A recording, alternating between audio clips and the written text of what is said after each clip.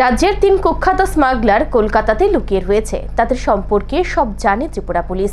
পশ্চিমবঙ্গের মুখ্যমন্ত্রী সহ অন্যান্য নেতা মন্ত্রীরাও জানেন এই স্মাগলারদের বিষয়ে। অথচ তারাই স্মাগলারদের আশ্রয় দিয়ে রেখেছেন। রবিবার নজরুল কলাক্ষেত্রে এক অনুষ্ঠানে এই কথা সবার সামনে তুলে ধরলেন রাজ্যের মুখ্যমন্ত্রী বিপ্লব কুমার দেব। এই হলো আসল পশ্চিমবঙ্গের চেহারা, যা রাজ্যের অনেকেই জানে না। দশ হাজার তিনশো তেইশের চাকরি খেয়ে ফেলেছে বিপ্লব দেব। এই সংক্রান্ত লিফলেট এখন বিরোধী দল পুরো নির্বাচনের ইস্যুতে বিলি করে চলেছে। আদতে কারা এই দশ হাজার তিনশো তেইশ শিক্ষকদের চাকরি গিলে খেলো? তা আবার জনসমক্ষে সবার সামনে তুলে ধরলেন মুখ্যমন্ত্রী বিপ্লব কুমার দেব। তাদের আসল মুখোশ খুলে দিলেন ফের মুখ্যমন্ত্রী।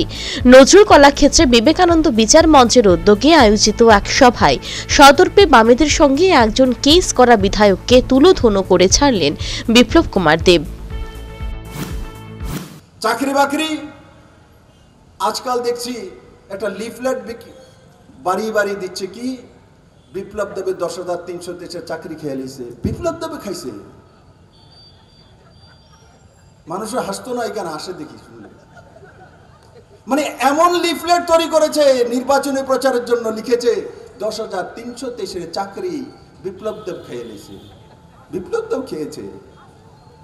তোমরা আর কেস করা এক বিধায়ক, এই দুইজনে মিলে খেয়েছো। আমি তো ত্রিপুরাতে ছিলামও না তখন। দীপক গুপ্তা চিফ জাস্টিস ছিল ত্রিপুরা হাইকোর্টের। আমি ত্রিপুরা আসিওনি দু হাজার পনেরোতে। মেয়েতে আমি এসি তার আগেই। তোমরা তাদের চাকরি খেয়ে নিয়েছো। আর খেয়েছ? তোমাদের সঙ্গী সাথে এক বিধায়ক আছে, সে কেস করার কারণে খাওয়া হয়েছে। দুজনে মিলে মিশে বরবাদ করে ত্রিপুরা সরকার তো তাদের প্রতি মানবিক দিক নিয়েই পাশে দাঁড়িয়েছে। সতেরো মাস তাদের বেতন দেওয়া হয়েছে।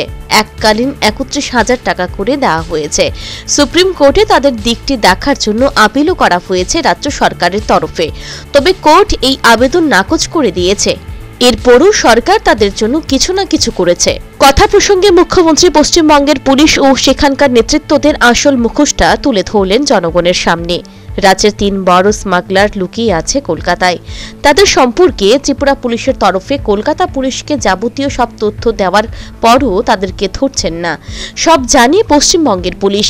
তবে সেখানকার নেতা মন্ত্রীরাই এই তিনজন স্মাগলারকে ধরতে দেয়নি। এই হলো পশ্চিমবঙ্গের প্রশাসন। কিন্তু এই রাজ্যের সবচেয়ে তিন বড় স্মাগলার দের ড্রাগসের মধ্যে রয়েছে, আমি কালকেও বনমালে পর বলেছি। এরা কলকাতায় বসে আছে। বলে, স্যার, ধরেন না গেলে ত্রিপুরা পুলিশ গিয়ে অন্য রাজ্যে ধরতে পারে না, ওই রাজ্যের পুলিশটাই। লোকেশন দিয়েছি, এয়ারপোর্টের কাছে, কোন বিল্ডিংয়ে সব কিছু দিয়েছি। তারপরও কলকাতার এই নেতৃত্ব যারা রয়েছে, তাদের ড্রাগসের সঙ্গে ওতপ্রোতভাবে এরা জড়িত। এরা পয়সা নিয়ে নিয়েছে এদের কাছ থেকে। নিয়ে এদেরকে বসিয়ে রেখেছে। লোকেশন জানার পরও ত্রিপুরা পুলিশ গিয়েছে। সাত দিন পর্যন্ত রয়েছে।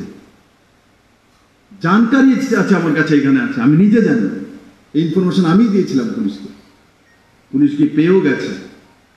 কিন্তু কলকাতা পুলিশ তাদের নেতাদের উংলি কারণে তাদেরকে উঠাতে দেয়নি।